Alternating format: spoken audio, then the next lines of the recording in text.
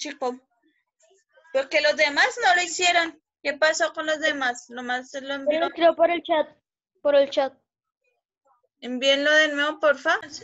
Siempre que yo tengo, y eso que les di los dos datos, o sea, simplemente lo que, ¿quién es la base? Pues en este caso es 5, ¿cierto? Y mi altura, ¿quién es? Es 3,27, son los únicos datos que yo tengo ahí. Profe, me, encontró, Entonces- me tocó encontrar la base y la altura. Pero si la base ya la ten- la base y la altura ya estaban, mírala, ahí están. Simplemente lo que van a hacer es coger el área de mi triángulo. Es exactamente igual a 5 por 3,27. Uy. Uy.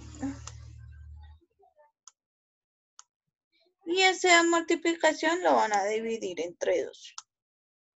Entonces, el área de mi triángulo va a ser exactamente igual a 5 por 3.27 es exactamente igual a 16,35. Ay, para que es que voy a poner un 2.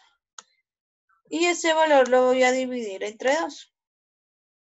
Entonces, el área del triángulo va a ser exactamente igual a eso dividido entre 2 me da 8.175. 8.175. Entonces aquí yo ya encontré mi área. Y si se dan cuenta, no es ningún 1,8, no es ni nada por el estilo. Es un número mucho más grande.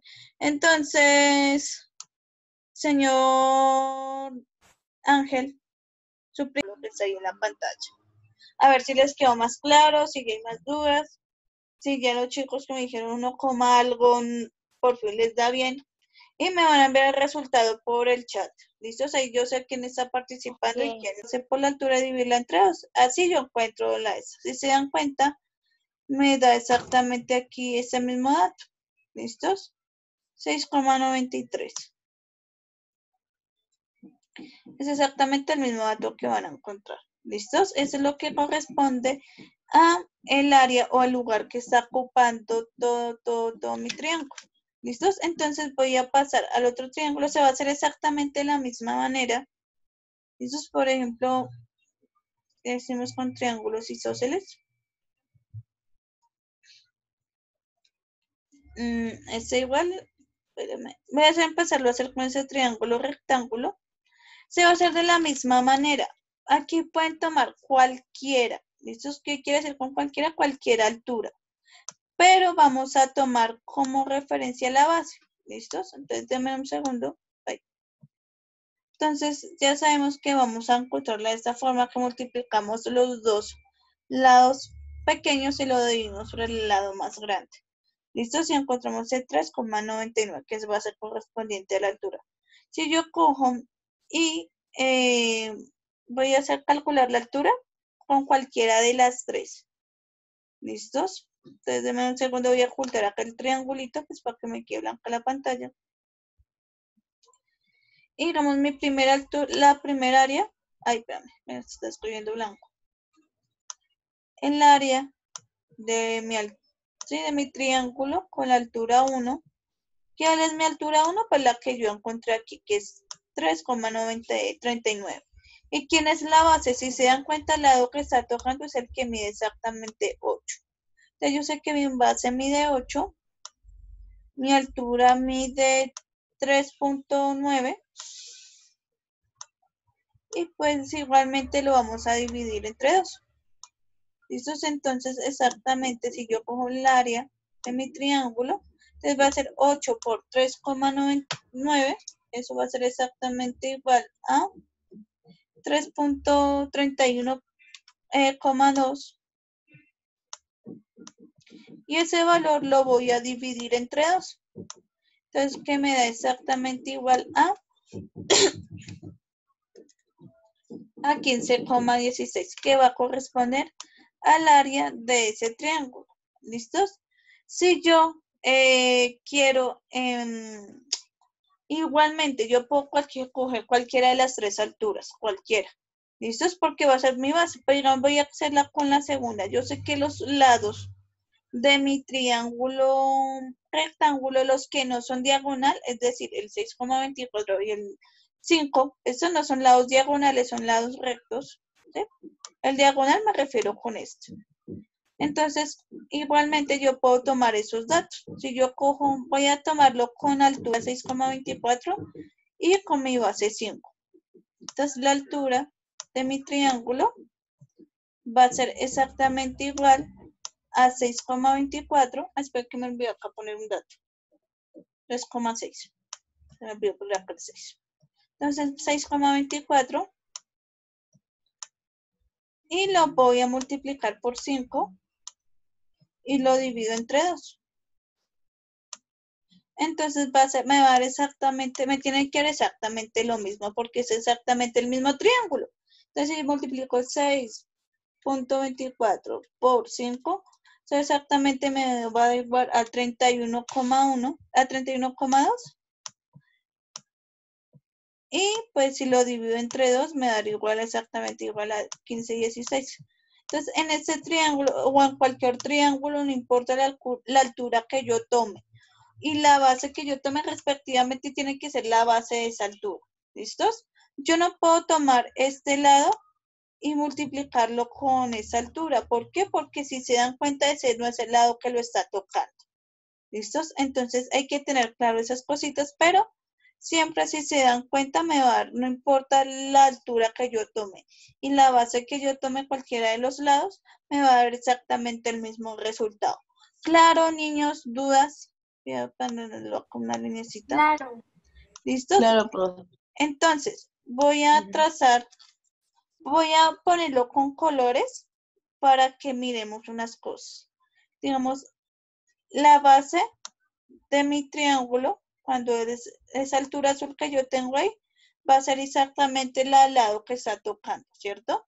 Pero si yo quiero tomar esta altura, que es la que está en verdecito, que la estoy rayando, respectivamente el lado que está tocando es el otro lado, ¿cierto? Pero si yo quiero tomar, y vamos a ir a caer una conmutatividad, porque si yo digo que esta es mi altura pues obviamente esta va a ser la base. ¿Listos? Cualquiera de esas tres posibilidades las pueden tomar, igual con los otros triángulos, pero digamos, siempre me dar el mismo resultado. ¿Listos? Como se dieron acabaron de dar cuenta. Claro, ni los dos lados más cortos los soy multiplica, los dos lados cortos los multiplico y los divido por el lado más largo. ¿Listos? Entonces lo que estamos haciendo ahí, y pues que corresponde a esa altura. Entonces, si yo voy a, voy a ocultar ese triángulo que yo tengo acá, eh, lo voy a, un segundo lo oculto. Listos. Entonces, obviamente para yo encontrar el área, todo lo que está dentro de la figura, todo ese espacio, entonces va a ser igual, exactamente igual a el área. Ay, espérame un segundito que me está escribiendo con colores. Entonces, el área de mi triángulo con altura roja. Lo voy a hacer respectivamente con colores para que nos vayamos a confundir. Ya sabemos que la base va a ser esta, que es el lado que está tocando mi altura. Entonces, mi base es igual a 11,4 lo voy a multiplicar por mi altura. ¿Cuánto mide mi altura? Si vemos es igual a 5,53. Y pues lo voy a dividir entre 2. Entonces la altura de mi triángulo va a ser exactamente igual a, y yo multiplico 11.4 por 5.53 exactamente igual a 63,02. Voy a poner todo esto el número que me dio, que es 63,042. Eh, ¿Listos? Ese fue el resultado y lo voy a dividir entre 2. Entonces va a ser exactamente igual a 31,521. ¿Sí? 31 21. Entonces, este va a ser el espacio que está ocupando todo mi triángulo, ¿listos? Pero si, digamos, yo lo quiero hacer con otra altura, por ejemplo, voy a rayar en azul, digamos mi, que mi altura sea 9 y que mi base sea 7. Recuerden que esto solo se puede hacer con los triángulos rectángulos, ¿listos? Para que lo tengan claro, solo con esos triángulos se puede hacer esto. Entonces yo sé que mi altura va a ser igual a 9 por 7. Que eso va a ser, es, y pues ese resultado lo divido entre 2. Entonces esto va a ser exactamente igual a 9 por 7, va a dar exactamente igual a 63. Y si eso lo divido entre 2, me da exactamente igual a, 31,5. ¿Listos?